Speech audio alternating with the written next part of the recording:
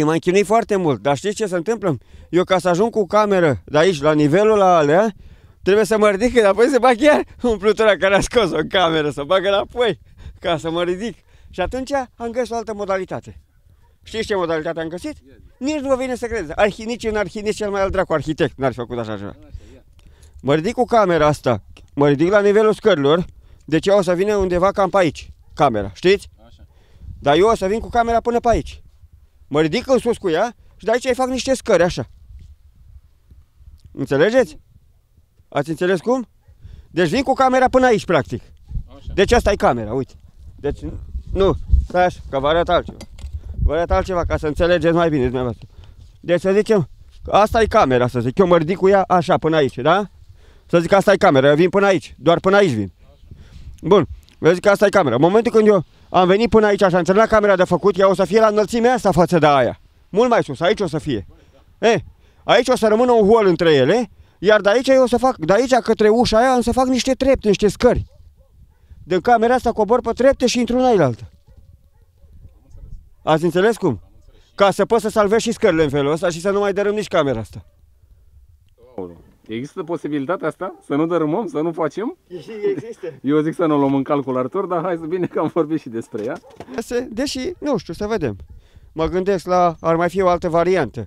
Să salvez totul, să nu mai fac scări, să mai fie complicat așa.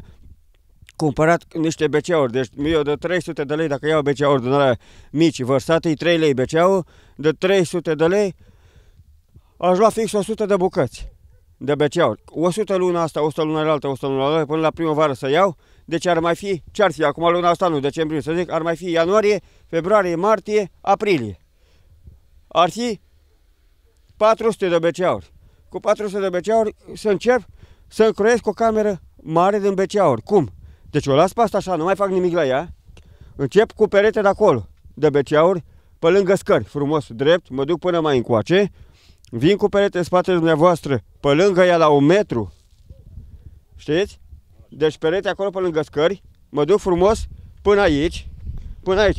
E, în momentul când am ajuns la marginea camerei, eu vin, cu- trec de cameră cam un metru mai încoasă, o măresc. Și plec chiar de aici cu un perete drept până în spatele ei și de acolo iar la un metru mă închid invers și tot așa și vin în partea cealaltă.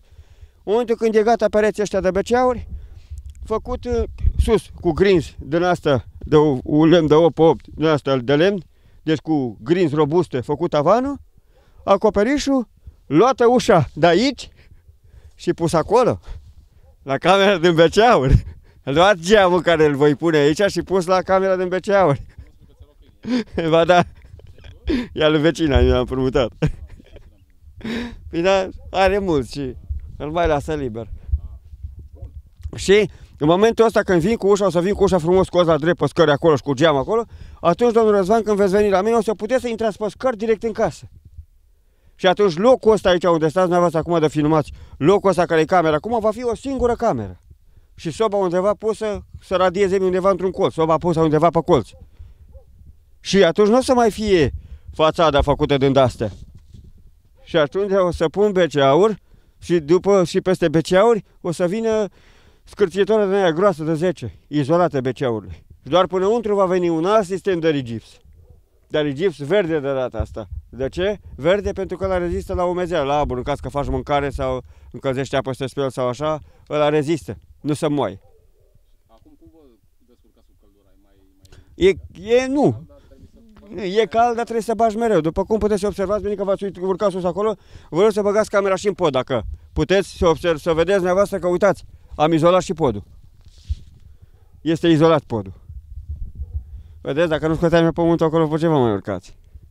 Nu? De ce? Tu l-ai scos, l-ai scos pentru mine, nu? Doar nu l-ai scos să... Normal, că mâine îl bag înapoi. Nu că te cred în stare. Bun, și mutarea cu ușa a fost bună până la urmă? E mai... Uh, E mai cald, să simte, să cunoaște și are închidere centralizată, e alt sistem. E... închidere centrală.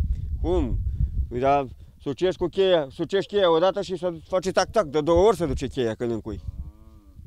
Am și jos aici un sistem de închidere pe interior, Deci nu are. să mai închide și jos aici, să mai închide și sus și la jumate. Nu mai intră nici dracu peste tine, nici cu tancul, nici primarul cu tancul de la primărie dacă vrea să vină, nu, nu reușește. Și Problema cu BCA-urile o să fie, o să vedeți dumneavoastră, primul om care zidește casă din BCA-uri fără armătură. Adică fără să toarni stâlpi de beton. Că normal să toarnă stâlpi de beton la BCA-uri când torci și să, să zidești între stâlpi, știți? Cine o să fie omul ăla? Eu. Cum fac? În momentul când ajung la colțuri cu BCA-uri, îl petrec BCA-ul. Pe altul care vin din marginea asta, acum o să fie toate la unison, știți? Dar în momentul când vii cu al doilea rând, totdeauna să pune rând de între BCA-urile celelalte care le-ai pus, pe deasupra lor. Știți?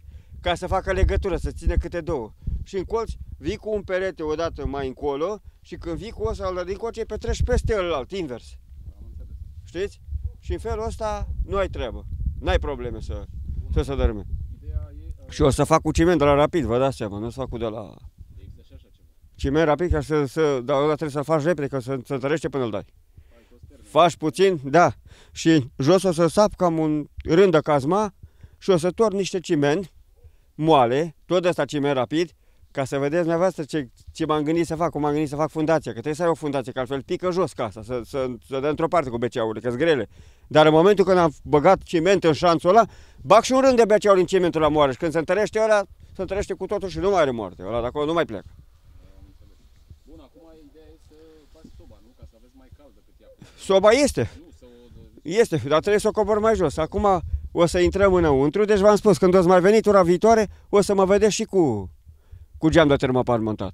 Te mai adus lemne, ce ai făcut? Ai mai tăiat lemne? Da, am mai tăiat lemne cu fierăstrău. Asta este camera generatorului care stă, generatorul stă în ea. Aici e ușa care a fost aici la holuleț. După cum bine puteți observa, fotolele vedeți că nu mai sunt aici. Fotolele le găsiți în spate acum.